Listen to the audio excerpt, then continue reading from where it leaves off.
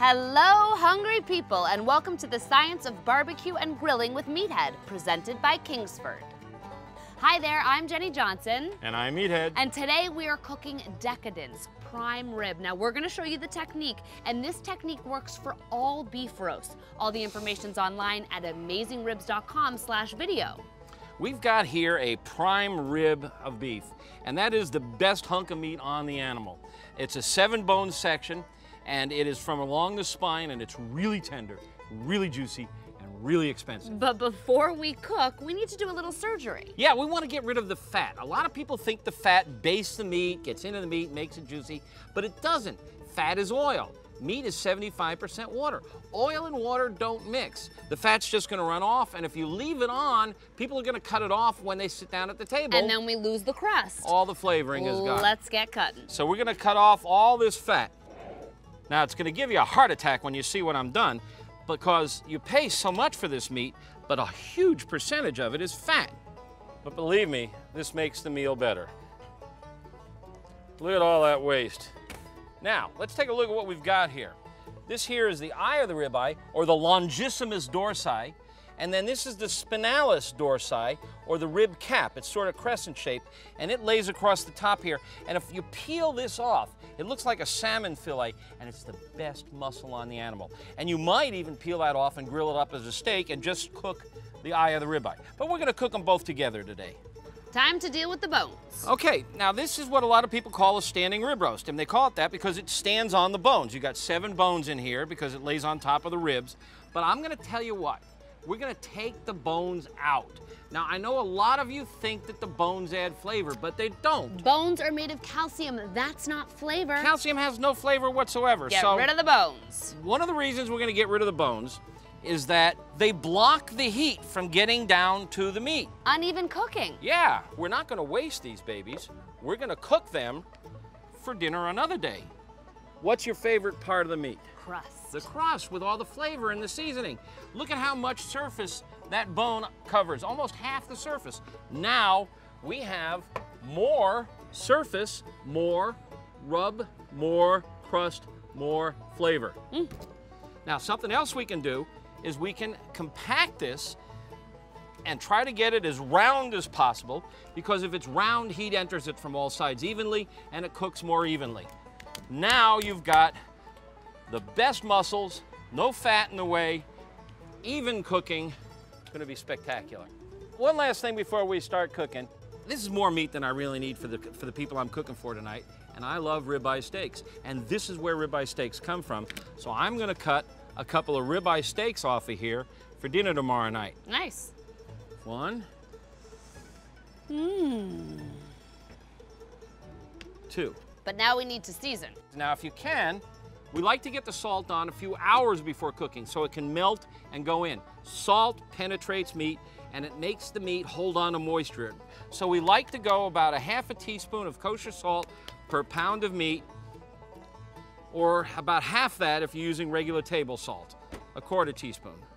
There we go. Okay, and now if we can, we stick this in the fridge for a few hours so the salt will melt and go right down to the center.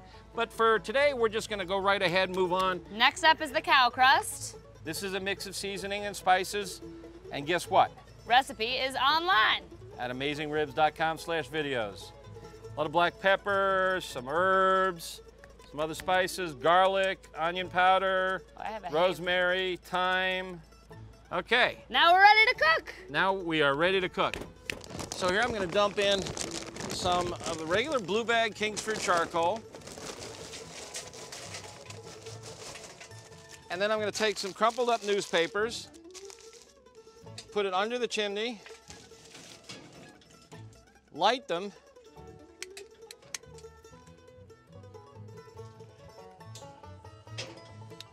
and in about 10 or 15 minutes, they, these will be all white and ready to go.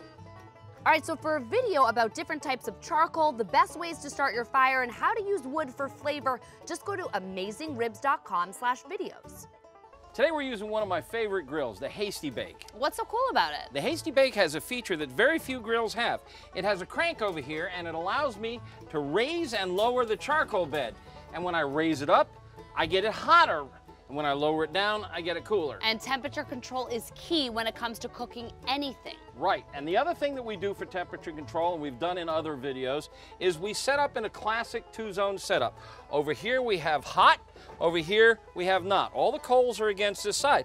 The meat's starting out on the indirect convection side, so it's gonna warm gently, and we're gonna get a nice even temperature throughout. We're not gonna sear it now, we're gonna sear it later, and I'll explain why. Okay, and now I'm gonna put in a small handful of wood. What does the wood do? It just gives it another flavor. It's like another instrument in the orchestra. Lovely. We're shooting for about 120 to 130 degrees in the center of this roast. And it takes about 30 minutes per inch to get there. On a four inch piece ro roast like this, that's about two hours of cooking time. And it's ready. Okay, so temperature's good. We're gonna move it over to the hot coals and we're gonna start to build our crust. And one of the nice things about this grill is we can crank the charcoal up right underneath the meat to build that dark crust. All right, so let's roll it across to the hot coals, and it's gonna be roughly about seven minutes on each side. Yeah, five to seven minutes, depends on how hot it is, and it should be really gorgeous.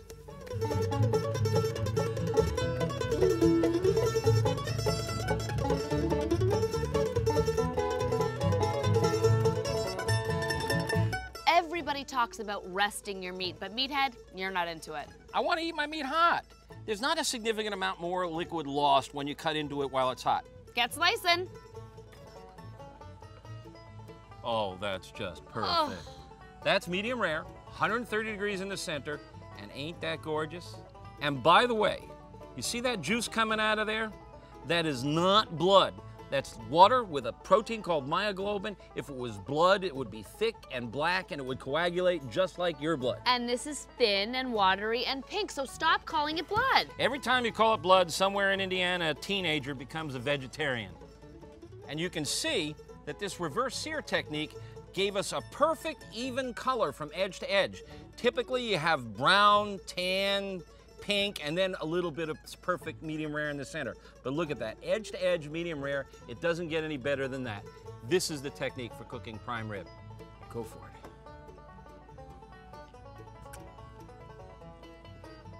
Mm. Mm. Mm. Tender. Mm. Juicy. Gorgeous. Perfection. Mm. And remember, cooking for others is an act of love. And the most important part of the meal is not what's on the plate, but who's in the chairs.